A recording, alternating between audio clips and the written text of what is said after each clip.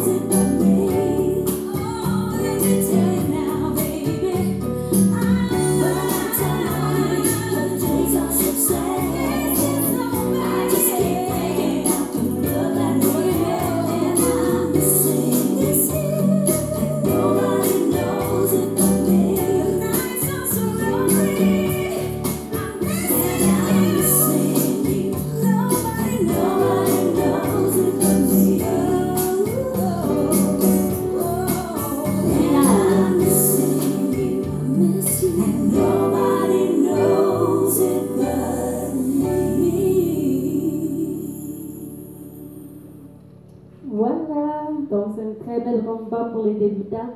Merci à tous. Petit pouce sur YouTube, n'oubliez pas. Bonne danse.